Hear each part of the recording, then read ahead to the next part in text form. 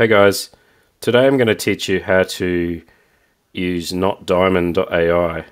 At the moment, all the models are basically free. They there's quite a large number of prompts you can use with it, and it has integrated in with it pretty much all the large language models. Um, so pretty cool resource, notdiamond.ai. Um, let's check it out. So here I've actually logged into it. Um, so it's zero out of 100,000 requests on the free tier, which is very high, and I'm sure this is going to come down. Um, but I'd assume that they're looking at enterprise customers for this. Um, so if I go chat,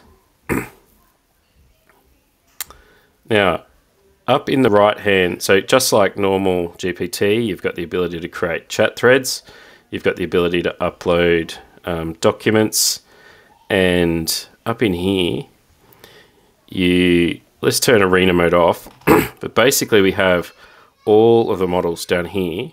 Um, and if we just wanted to use ChatGPT 4, we could turn the rest of these off. Um, but let's leave them all on.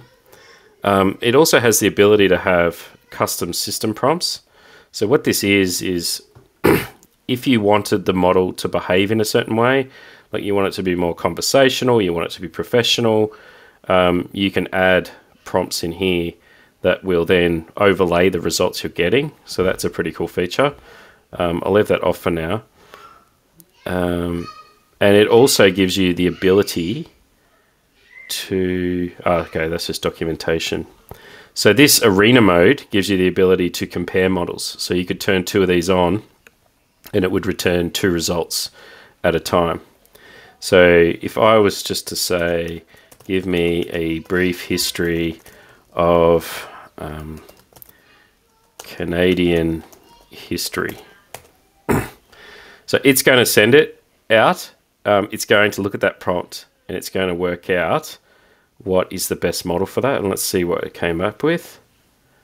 So ChatGPT 4.0. And it even gives you the cost, 0.0257. That's what it cost actually to run this, which is which is quite a lot.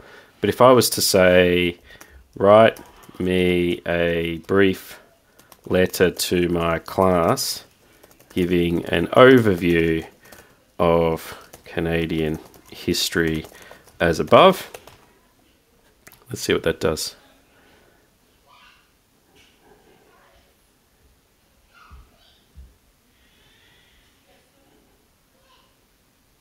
So that's obviously used Claude Sonnet. And the cool thing is it has the copy and paste feature.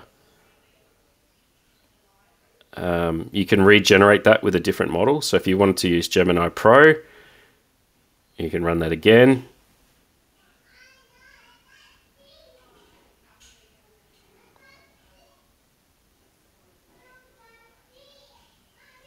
So I've done about five prompts. I'm just going to go back and see yeah, see, still showing zero. That might update eventually. But yeah, you can also um, give that a thumbs up. You think that's good? Um, they'll feed that back into their algorithm of whether that's um, the best model to use for that, and they're going to build up that data set over time. So yeah, I thought this product was really cool. Um, notdiamond.ai. Check it out.